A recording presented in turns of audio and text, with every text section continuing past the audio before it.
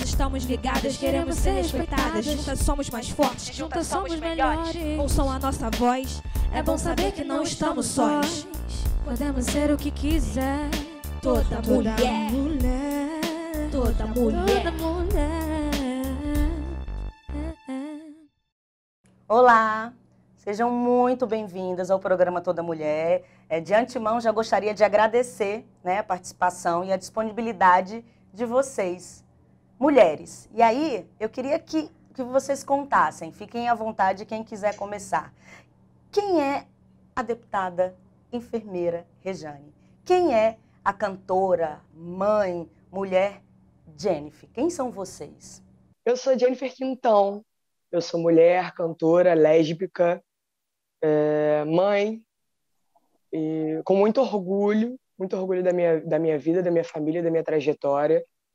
É, a gente tem uma filha, nós duas temos uma filha que foi por meio de inseminação artificial, é, de um ano e meio, linda. É, e eu trabalho com a música, eu trabalho levando amor e energia para as pessoas, o máximo que eu consigo, porque a gente está precisando muito disso. É isso, basicamente, essa sou eu. E a senhora, deputada? É, a senhora que, pegando esse gancho da Jennifer, de cultura, de mãe, de guerreira, a senhora protagonista aqui na Assembleia Legislativa do Estado do Rio de Janeiro, essas causas femininas, onde a senhora coloca em plenário a mulher enquanto protagonista. O que isso representa para a senhora enquanto mulher e na bandeira que a senhora defende enquanto parlamentar? A Rejane é uma enfermeira né, de formação, de uma família do subúrbio carioca, né? e que chegou no parlamento por muita luta, representando uma categoria de mulheres de um segmento é, socialmente falando é, de uma classe média para pobre e com recorte de, de raça negra e negros, né? E a gente chega aqui para representar essa categoria de mulheres e, no entanto, se depara, depara aí com um segmento muito maior. Eu tenho um filho, tenho uma companheira, tenho um, um, um trabalho na área da saúde, eu sou enfermeira, né? E luto pelo SUS também, pelo Sistema Único de Saúde, por uma, um sistema de qualidade para todo mundo.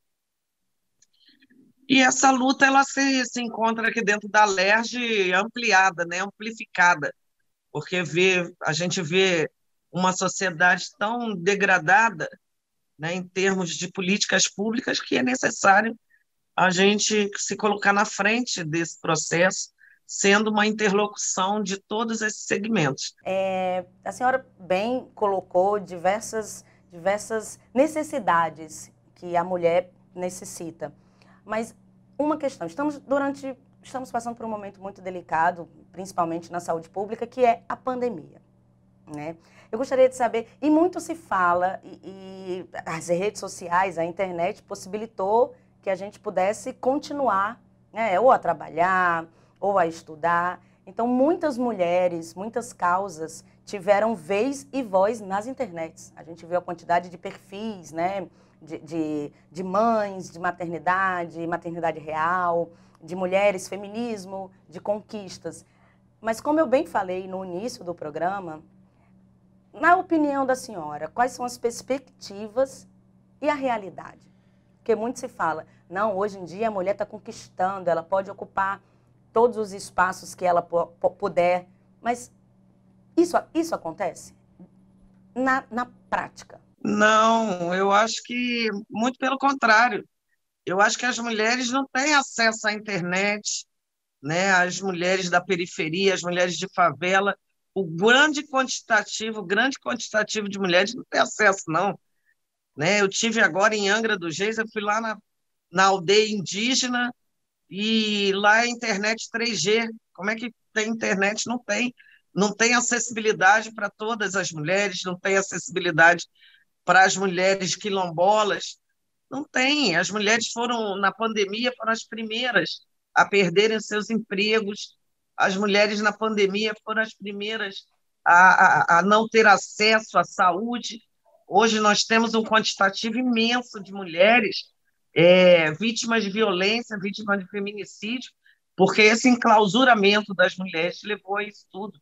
Levou a um processo de acirramento e, e, e aprofundamento da, das, das, doenças que elas né, é, vinham tentando estar é, tá, é, fazendo parte de um, de um planejamento, é, da uma prevenção do câncer do útero, do câncer de mama. Hoje a gente está pegando mulheres com, com o estágio desses, dessas doenças já em estágio muito alto. Então, a pandemia prejudicou muito, prejudicou a população LGBT, que na área da cultura, né, essa, essa população tinha espaço, tinha espaço como a Jennifer, que é cantora, que está aí, e que... Era justamente isso que, que, eu queria também que a Jennifer é, é, é, falasse, desculpa interromper a senhora, mas porque cultura, oh, Jennifer e deputada, foi o, o meio que foi o primeiro a ser afetado. E eu não sei se você tem outra profissão, Jennifer, se você tiver, você pode explicar, mas como que você conseguiu se reinventar? Porque a gente viu muitas lives, é, os atores fazendo peças virtuais. Como que você se reinventou durante a pandemia? Porque o teatro, a cultura, ela realmente ficou, como a deputada bem colocou, bem prejudicada. Eu não estou colocando peso, quem ficou mais ou menos prejudicada, mas a gente sabe que a cultura foi uma das principais. Não, é, eu já eu já afirmo isso para você. Foi eu vejo dentro, é, vendo de dentro, como a mais prejudicada, porque foi a primeira a parar e a última a voltar. A gente ainda não voltou direito, a gente ainda não está trabalhando direito, as coisas ainda não estão normais. É, e foi muito complicado porque é o meu trabalho, é o meu único trabalho, é a minha profissão, e foi o que eu escolhi para viver. Eu escolhi viver o meu sonho, eu escolhi viver o que eu amo, eu escolhi viver, fazer o que eu sei fazer de melhor. É, e infelizmente eu perdi tudo de uma hora para outra. É, a gente sabe é, como tudo aconteceu, que realmente foi, foi para a gente aqui no Brasil, foi tudo muito rápido é, mesmo já, já sabendo de, de tudo que estava acontecendo lá fora, mas não esperávamos que, que seria tão rápido. E, e, o nosso trabalho parou de uma hora para outra e sem renda, simplesmente sem renda. E foi logo quando a minha filha chegou. Foi no meio da pandemia, ela nasceu no meio da pandemia, a gente não esperava por isso. A Ana Lu tem quantos anos? Ela tem um ano e cinco meses. Nossa, então você, além de se reinventar, profissionalmente falando, ainda sim, chegou sim. uma filha. Sim, exatamente. E, e eu posso te dizer com certeza que sem uma rede de apoio, eu não, eu não sei o que seria é, de mim hoje, do meu trabalho hoje, da minha família hoje.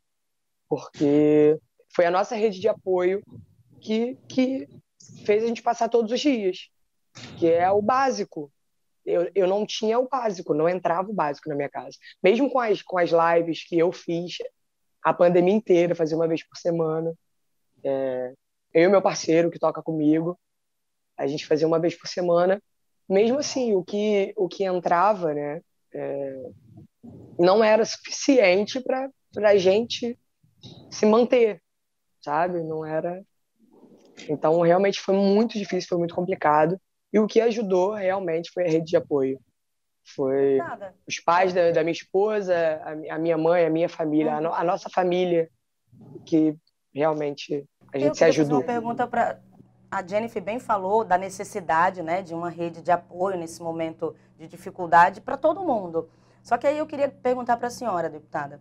A senhora acredita é, e precisamos de políticas públicas voltadas para diversos segmentos. Mas a senhora acredita que é, qual o motivo da ausência de, de incentivos para políticas públicas para as classes, por exemplo, como a LGBTQI+, para as minorias, em busca não de igualdade, porque eu gosto sempre de dizer aqui no Toda Mulher que as pessoas precisam entender, informação nunca é demais, diferença de igualdade e equidade. Então, a senhora acredita que temos hoje, aqui no estado do Rio de Janeiro, políticas públicas para a classe LGBTQI? Então, Jennifer e Marieta, né? Está sendo muito bacana esse nosso diálogo aqui, essa nossa conversa, porque assim a gente tem que entender esse novo período, né, que a gente está vivendo. A gente viveu muito numa numa negação de uma doença que dizimou e tirou a vida de muita gente. E isso não é não é uma coisa menor, né? Quando a principal figura do nosso país, o presidente do nosso país, nega essa, esse processo. Então, ao negar o processo, ele nega também políticas públicas que possam advir né, nesse, não só no, a nível nacional, mas a nível estadual e a nível municipal também. Porque siga seu líder, né? Para alguns, siga seu líder. Então, não existiu políticas públicas. A gente teve aí muita solidariedade entre as pessoas, como foi falado aqui com a Jennifer, pela Jennifer. A gente tentou aqui dentro da casa também é, incluir essas minorias, que é importante você falar, Marieta, que não é minoria, é uma grande maioria, né? se a gente for olhar do ponto de vista da, da população, é um grande quantitativo que não pode ser visto como minoria, mas a gente aqui tentou incluir o pessoal da área da cultura, na, na ajuda financeira aqui do Estado, mas é muito difícil, porque você esbarra com esse preconceito que a gente vê, você esbarra com a questão né, da, da resistência, de entender que, que, que esse segmento é um segmento importante para a sociedade. Então, o que sobrou foi realmente essa rede de apoio e muito no voluntarismo, de um ajudar o outro, de um é, é tentar juntar uma cesta básica, né? porque live para esses esses artistas né, que não estão no topo é muito difícil. Foi muito difícil. Foi dois anos de muita resistência e reafirmação. Por isso que a gente está falando aqui, só para terminar, Marieta, de uma mulher guerreira né, que fez um enfrentamento e é necessário a gente trazer e resgatar isso por conta né, do nosso 8M de amanhã e que tem muitas guerreiras né, que a gente sabe que resistiu e, e continua resistindo, né? Deputada, desculpe interrompê-la, mas é justamente como eu falei no começo do programa. A gente está conversando e dialogando acerca da teoria, das perspectivas e da realidade. Né? Quando a senhora bem falou que a minoria na prática, não é minoria, concordo com a senhora. Então, é justamente isso que a gente está discorrendo, trocando e, e, procurando entender. Troca de informações nunca, nunca é demais. Mas vamos segurar esse assunto que a gente vai para o intervalo rapidinho, mas o Toda Mulher volta já já. Eu sei que você não vai sair daí. Toda mulher, toda mulher, toda mulher.